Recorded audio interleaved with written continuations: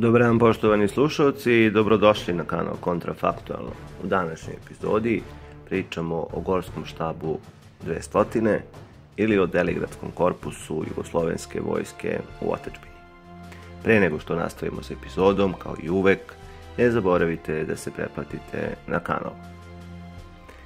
Deligradski korpus, odnosno Gorski štab 200, kako mu je bilo kodno, kodni naziv, formiran je negde u leto 42. godine i to je i pokrivo je srezove e, dakle današnjih opština, ras, dakle današnjih okruga Rasinskog, Aleksinačkog, Sokobanskog, Ražanskog i Moravskog. Dakle, to su gradovi e, i teritorije današnjih opština Kruševac, Aleksinac, Ražanj i Sokobanja. Dokument od 12. septembra 1942. godine potvrđuje dakle ove navode, jer u njemu se navodi da je 13. augusta dobijen radiogram od ministra vojske i monarice, generala Draže Mihajlovića, kojim se kapetan Jovan Jovanović Deda ovlašćuje da rukovodi ravnogorskom organizacijom u pomenutim srezovima. Kada je Rasinski srez odvojen od teritorije korpusa, e, to baš i nije poznato, ali je sigurno da je to bilo pre novembra 1942. godine, kada je izvršena reorganizacija jedinice Jugoslovenske vojske u Otočbini, dakle na jugu Srbije. Deligradski korpus formiran je najkasnije do novembra 1942. godine, e, jer je tada pukovnik Dragoslav Pavlović, komandant istorinog dela vrhovne komande Jugoslovenske vojske u Otočbini za istočnu Srbiju, reorganizovao jedinice u ovom delu e, Srbije. Tada su formirani korpusi Deligradski, Krajinski, Knjaževački i Timočki. Što se tiče štaba Deligradskog korpusa, on je bio smešten u mestu ili na mestu Glavica, to je Skota 487 i to je bilo u Sezu Sokobanjskom, odnosno između Jošanice i Vrmče. U toku 1942. godine Deligradski korpus je bio podčinjen Gorskom štabu 110, čiji je komandant bio čuveni e, generalštabni major Radoslav Đurić. Pod komandom ovog štaba izlazile su sa teritorija Srbije e, južno od Kopalnika.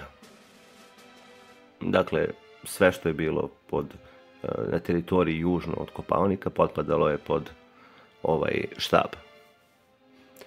Početkom 43. godine i dalje tokom rata, korpus je bio neposredno pod vrhovnom komandom Jugoslovenske vojske u Otačbini. U martu 44. formirana je Mlavsko-Smederevska grupa korpusa i u ovu grupu korpusa je ušao i Deligradski korpus. Pored toga, u ovu grupu ušli su i Mlavski, Smederevski, Timočki i Krajinski korpus.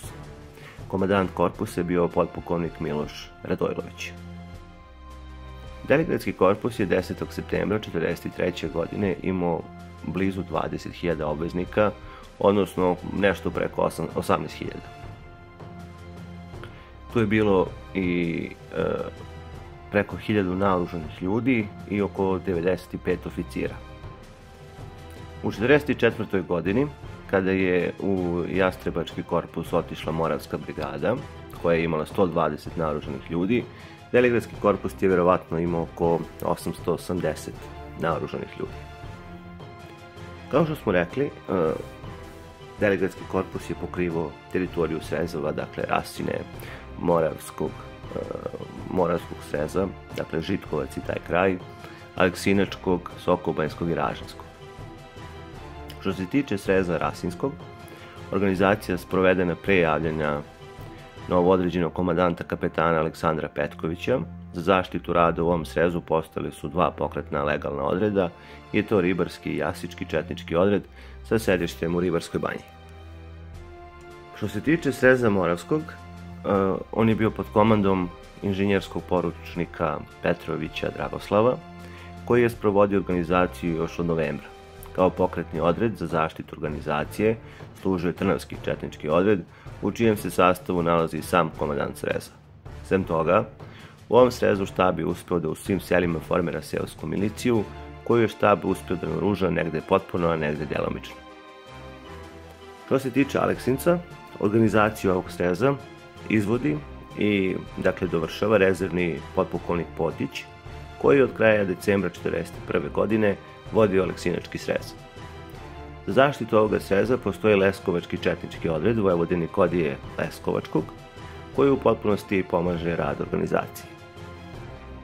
Što se tiče Sokobanje, organizacija je sprovedena pod rukovodstvom rezervnog konjičnog poručnika Predraga Hadži Pavlovića, advokata, koji na tom polju radi od meseca decembra 1941. godine. Štab 43. aprila meseca postavio je komandanta Sokobanske brigade, koji odmah stupio u vezu sa ovim štabom i rad je produžen u potpunoj saglasnosti sa dotadašnjom organizacijom. U ovom srezu ovaj štab je uspeo da formira jedan bataljon u selu Vrbovcu pod imenom Vrborovački bataljon koji ima 300 ljudi potpuno naoružanih kao vid milicije i raspolaže sa 15 miškom, puškom mitraljeza. Ovim bataljonom je komandovao Ljubomir Marjanović, koji je takođe bio iz ovog sreza. Što se tiče ražnje okoline, ovaj srez raspolaže sa pokretnim odredom pod komandom samog komandanta sreza i broj 50 naoruženih ljudi koji su bili legalizovani. Krajem 1942. godine iz nadležnosti Delegradskog korpusa izuzet je Rasinski srez i stavljen je u nadležnost Rasinskog korpusa. Od kraja marta 1944. godine odlukom Vrhovne komande Moravski srez, srez izuzet je zajedno sa svojom brigadom iz nadležnosti Delegradskog korpusa i priključen je Rasinskom korpusu. Novom odlukom Vrhovne komande od 30. aprila 1944. godine formiran je novi Jastrebački korpus. U sastavu ovog korpusa ušao je tada Moravski srez sa svojom brigadom i u njemu je ostao do kraja rata. Deligradski korpus imao je dakle više brigada, one su formirane tokom 1942. godine, a od formiranja ih je bilo pet. Rasinska, Sokovanjska, Aleksinačka, Ražanjska i Moravska.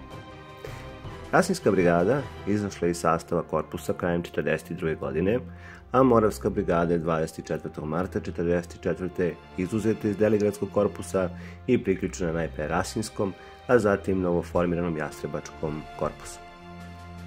Od kraja decembra 1943. godine Deligradski korpus je imao i leteću brigadu od 150 dobro naoružanih boraca. Štab komande korpusa broje 50 konjenika i 50 pešaka. Brigade su formirane po srezovima i nosile su naziv sreza u kome su formirane. Ako je brigada imala pet i više bataljona, onda je formirana druga po redu. Takav je bio slučaj u Sokobanskom srezu, gde su formirane prva i druga Sokobanjska brigada. U maju 1944. godine Ražanjska, Aleksinačka i Sokobanjska brigada, pored štabnih grupa koje broje 50 do 60 ljudi, raspolagale su i letićim brigadama koje su brojale po oko 150 ljudi. U letu 1944. godine, kada je komandu preuzeo major Vlastimir Vesić, korpus je imao četiri brigade, Ražansku, Aleksinačku i dve Sokobanjske.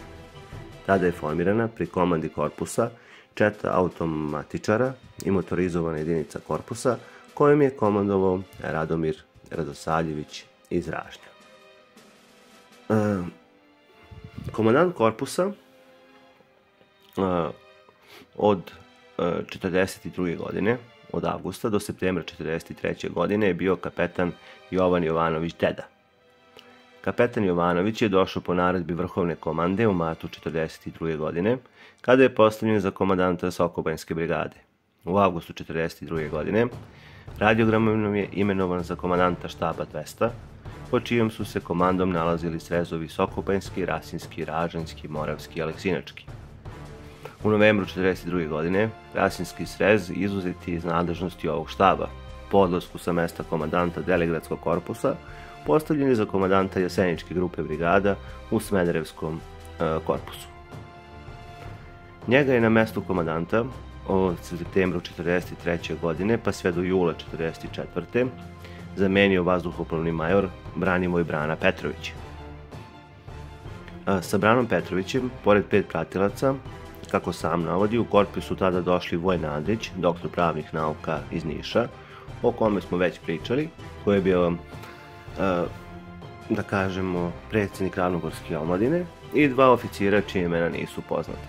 Pre dolaska na ovu dužnost, major Petrović je bio komadant Javorskog korpusa Jugoslovenske vojske u Otačbini. Od početka 1943. godine pa do dolasku u delegratski korpus bio je delegat vrhovne komande Jugoslovenske vojske u otačbini za Varvarinski, Ivankovački i Resavski korpus. Brana Petrović inače bio sestrić generala Draže Mihajlovića. I od jula 1944. godine pa sve do kraja rata komandant je bio major Vlastimir Vesić. Pre dolaska na dužnost komandanta korpusa, kapetan Vesić je od leta 42. do 15. marta 44. bio komandant uh, korpusa. Kapetan Vesić je postavljen za komandanta Nišavske grupe korpusa, kojom je komandovao do jula 44. godine. Nadam se vam se epizoda dopala, ne zaboravite da se preplatite na kanal i vidimo se uskoro. Prijetno!